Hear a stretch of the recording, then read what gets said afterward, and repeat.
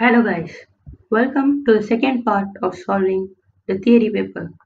In the first part, we have completed three questions and we have five questions pending in this paper.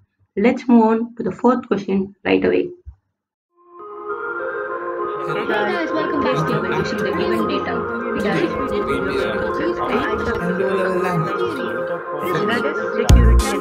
security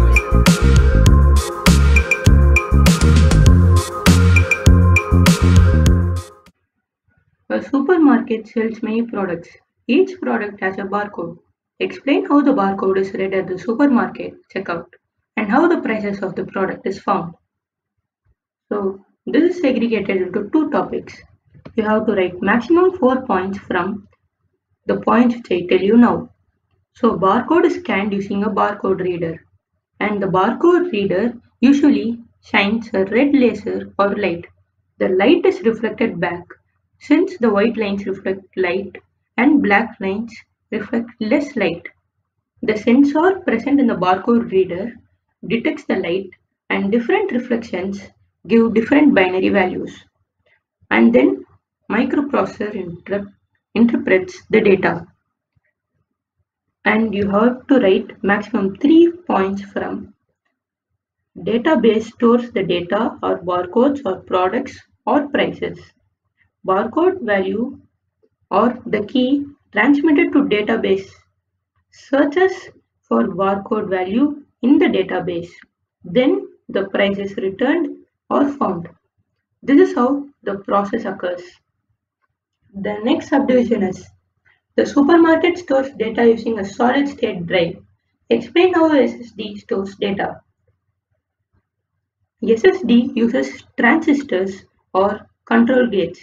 It can be NAND gate or NOR gate. It also uses flip-flop technology. It has flash storage. Stores data by flashing it onto chips or device. The control of data is happening through the flow of electrons. When data is stored, the transistor is converted from 1 to 0 or from 0 to 1. The next part of this subdivision is one advantage of an SSD rather, rather than a HDD is that it has no moving parts, so it's more durable. State one another advantage of the supermarket using SSD rather than HDD. Usually there are many points, but I would recommend you to remember these three. Faster read or write operation produces less heat and less power consumption. This is the end of the fourth question. Now let's move on to the fifth question. Computers use logic gates. State the single logic gate that produces each truth table. The output for this truth table is 1110. When two ones are present, the output is 0. If either is 1 or neither is 1, the output is 1. So it should be NAND gate. Opposite of AND gate. The operation of NAND gate is when there is 0 0 or either one is 1, the output would be 1. If both is 1, the output would be 0. It is the opposite of AND gate. The next truth table is the output value for this is 0, 1, 1, 0. So this is a special gate known as XOR gate. When two values are the same in the input, the output would be 0. When two values are different, the output would be 1. I hope you can understand the function of this gate. The next truth table is 1, 0, 0, 0 is the output for this. So it is NOR gate, the opposite of OR gate. The function of NOR gate is when two values are 0, the output would be 1. If either value is 1, the output becomes 0.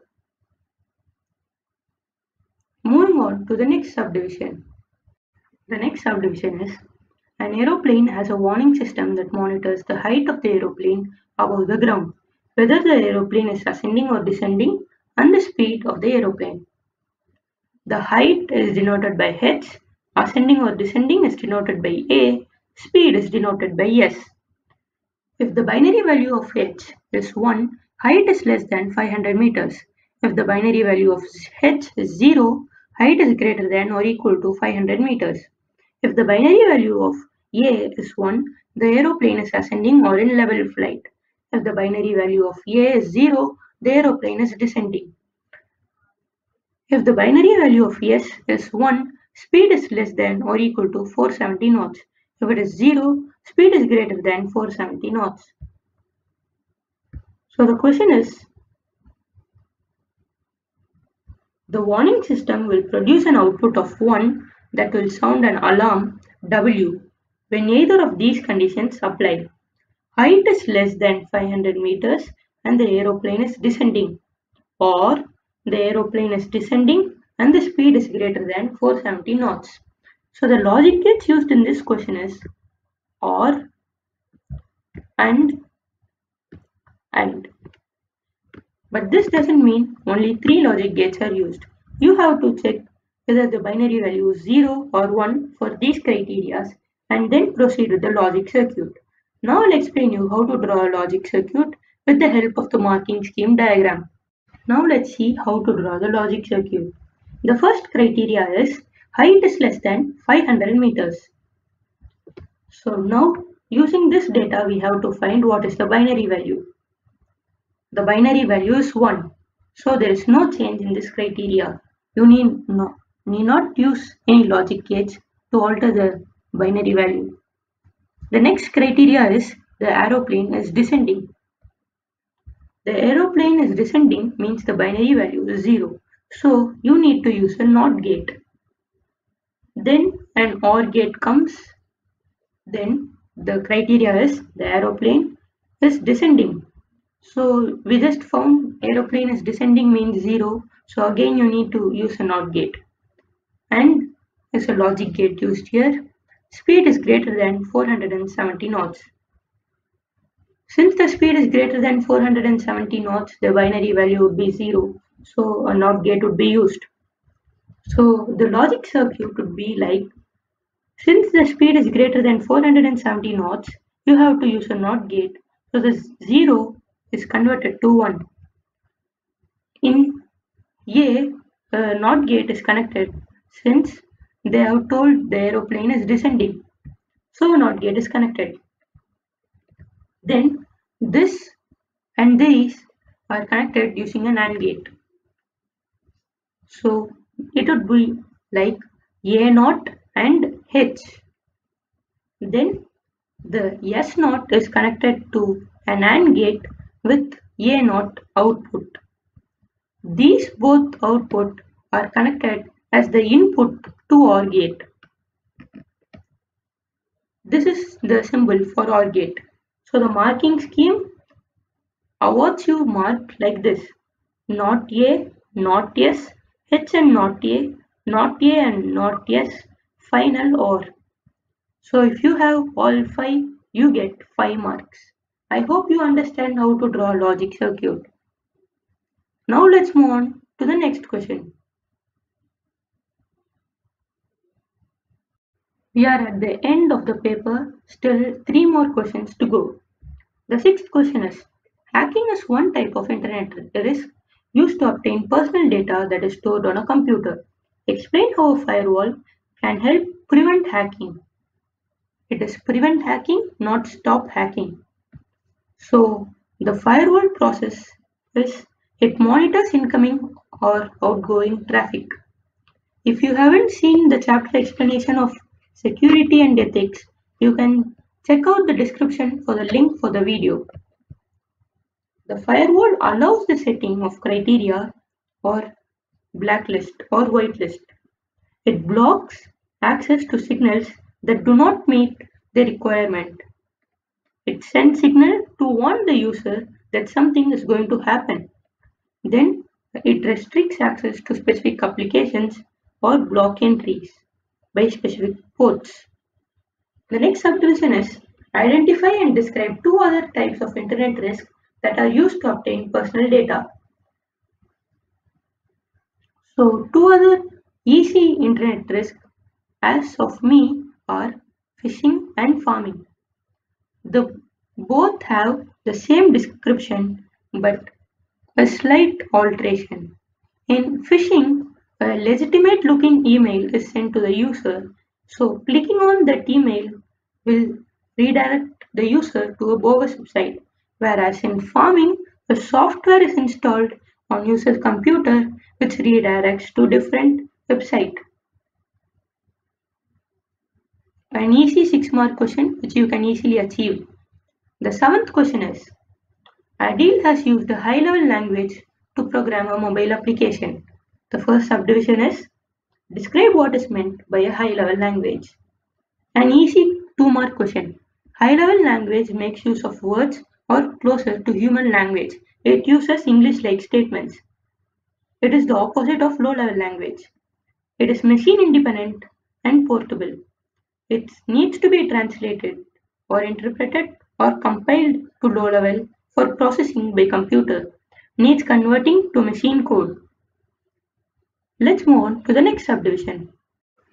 Uses an interpreter while developing and testing the application. Adil uses a compiler when the application is ready to be shared with others. Compare the features of interpreters and compiler. An easy 4 mark question. They both translate high level language to machine code. This is the sim similarity. They both generate error diagnostics or messages to identify errors. The difference are interpreter translates one line at a time and checks one line and then runs it. But compiler translates whole code in one go. Checks all code and then runs it. The interpreter stops when it meets with an error and then allows you to continue running from where you stop. Compiler provides the list of all errors after it checks. The interpreter does not produce an executable file whereas the compiler produces an executable file. The next subdivision is Adil is considering distribu distributing his application as free software or shareware. Explain the difference between free software or shareware. Free software is distributed with source code, whereas shareware is not distributed with source code. Shareware normally allows a trial period for the end user. Freeware allows modification of the application, whereas shareware cannot be modified. Freeware, free software, I mean, free software is often available free of charge, whereas shareware normally has a charge over a period of time. The next subdivision is Adil is concerned about his application being plagiarized. Define the term plagiarism. Plagiarism means claiming another person's work as your own. Adil copyrights his application. State why Adil copyrights his application. This is done because to identify legal ownership or to claim ownership or to protect intellectual property. The last question in this paper. The von Neumann model for a computer system uses the stored program concept. Describe what is meant by the stored program concept. So, in stored program concept, instructions and data stored in the same or main memory. Then the instruction fetched and executed in order, one after another, in sequence. The fetch execute cycle of a von Neumann model for a computer system uses register and buses. Describe the role of program counter. A two mark question, but don't worry about the lines provided, the answers are simple. It holds the address of the next current instruction. This is all you need to write for a two mark question. Describe the role of the control bus. It carries control signals or carries commands from CPU to components or from devices to CPU. It is used to synchronize the fetch execute cycle. The next subdivision is computers based on the von Neumann model for a computer system use interrupts. Explain why interrupts are needed. Interrupts are needed to identify that the processor's attention is required or to stop the current process which is running. It allows the user to multitask, also allows for efficient processing, to allow for efficient use of the hardware. This is the end of the paper. I hope you like this video. Thanks for watching. Stay tuned on Code 4. Comment below if you like this video or not. more types of these videos coming soon.